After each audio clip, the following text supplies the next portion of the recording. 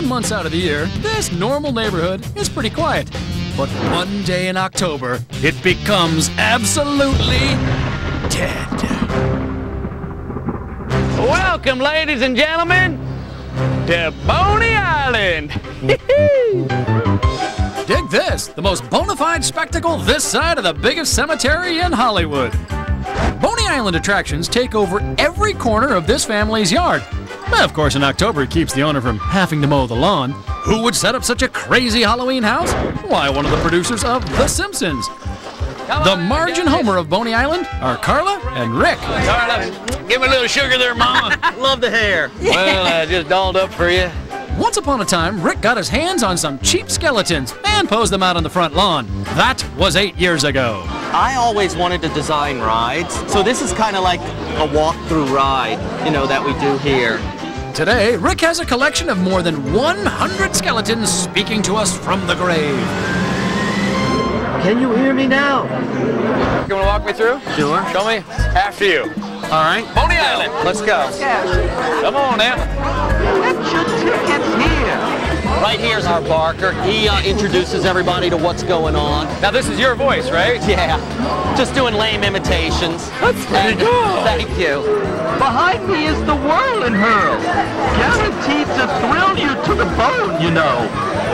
How'd you do that? Somebody came over and gave me a motor that went on one of those old-time bikes, those exercise bikes that Yeah. do that. I just figured out adding cauldrons to it. And there's a guy doing caricatures. Since uh, skulls all look the same, they got the same faces, you know.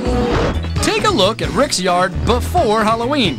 But add hundreds of hours of time, a bunch of skeletons, and the place becomes one big scary county fair. Except all the people are skinnier. He's got a bony ticket taker, an organ grinder complete with bonified monkey, a fortune teller, and the once human cannonball ready to blow. Uh, here's our batting cage. You can see they're hitting bats. And this is a shooting gallery. I just got that dog skeleton from a, a research place where they sell skeletons. That's a real skeleton? No, no, no, it's a replica of one, but they sell models to labs and stuff. Next up, the house, where there's more dangerous activity going on. There's the hot air balloon up there. I love the hot air yeah, balloon. that turned out nice. There's a couple of hitchhiking skeletons trying to get a ride. This guy's about to fall off the roof. You know, I'm starting to get an idea why these people aren't living anymore. But I also see how they live it up. And then here's our band. Uh, they're called the Skeletones. Uh, they're playing. Uh, the guy's playing the xylophone, and we also have. We also Just like a walking Gosh, fun yeah, machine, aren't you? So here's the secret to making these things work. All these skeletons are on puppet-like strings attached to armatures that make the bones go up and down, like the horse on a merry-go-round. During the two-week Halloween season, Rick gets more than 13,000 people traipsing over his lawn and ogling his ghouls. Have you been to a bunch of other haunted houses? Nothing is as good as this. This is the best one? Best. The best. The best. I guess this would be a good time to explain the secrets of the nerve center.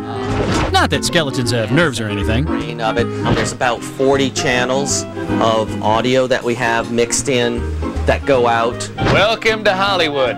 He's got a brick and an Emmy holding down a curtain. You got you gotta you gotta get something with weight, and they're pretty darn heavy. Outside the control room in the front yard, we have the ever popular goldfish attraction. Well, that's authentic. Those carnival fish never live. There's also Rick's version of the classic whack-a-mole.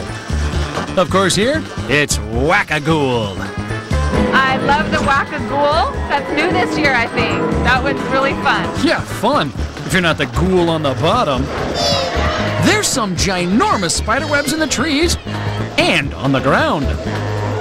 Where do you keep everything? We have skeletons in our attic, skeletons in our closet. Yeah, everywhere. We had to get two storage units to. Oh, I'm sure you got skeletons yeah, in your closet. besides that. There's so much stuff that Rick starts assembling skeleton parts in July. To get ready for Halloween, he's setting it up before Labor Day.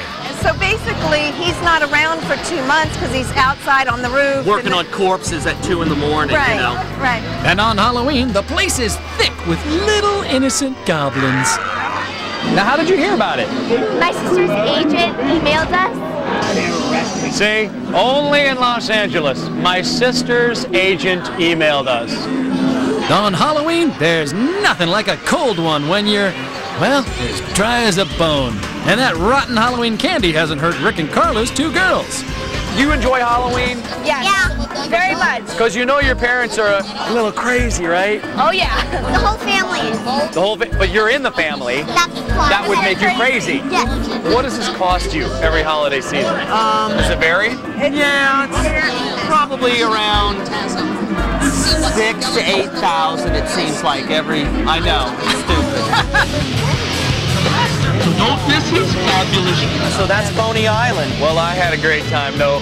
No, no bones about it. Oh, good. Yeah, I'm the pun machine. I know you're the pun machine. Thank you very much, Rick. Thank All you. Right, thanks Thank a lot. You. Happy Halloween from Boney Island.